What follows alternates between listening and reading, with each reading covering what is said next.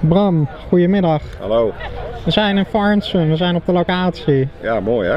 Hoe voel je je? Ja, super gelukkig. Oké. Dit is echt fantastisch.